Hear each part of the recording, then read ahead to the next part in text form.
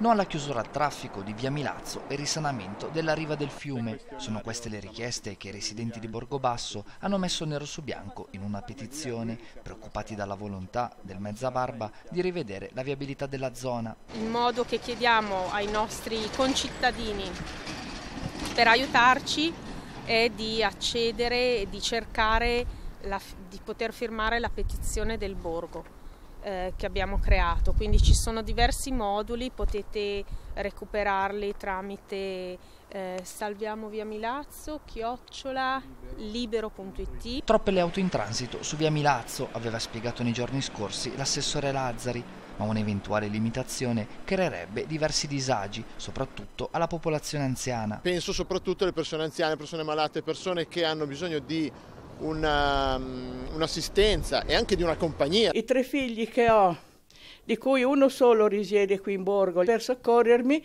e aiutarmi in tutti i miei bisogni, dalle spese al medico e tutto quanto, devo ricorrere a loro. Sono tre auto diverse.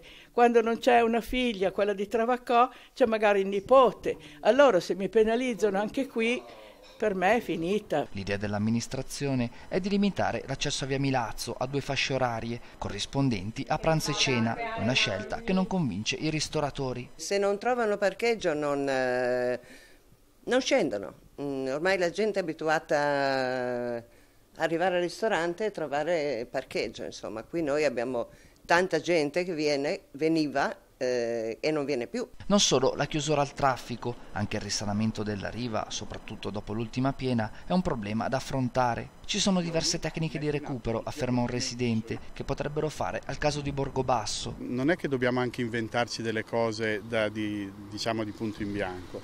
Ci sono tante esperienze in Europa pubblicate e eh, diciamo, accessibili che fanno esempi di eh, recupero delle rive. Un problema già sollevato nel 2011 dal consigliere del PD Maggi e che AIPO, l'ente competente, deve ora sanare. Lavori di consolidamento che sono in previsione, ha confermato Lazzari nelle ultime ore. Le competenze per quanto riguarda la parte dell'alveo sono dell'AIPO. L'AIPO aveva detto ancora negli anni scorsi che era un problema di patto di stabilità e che sarebbe intervenuta. È arrivato il momento in cui l'AIPO debba effettivamente intervenire. E dopo l'instant question di lunedì scorso anche il consigliere Mognaschi lancia una proposta all'amministrazione. Sentirò l'assessore Lazzaro e gli proporrò di venire qui una mattina dalle 7 alle 9 così conteremo insieme le macchine entrate e uscite magari nel frattempo ci facciamo anche un giro con i residenti così potrà sentire dalla viva voce ai residenti i disagi che provocherà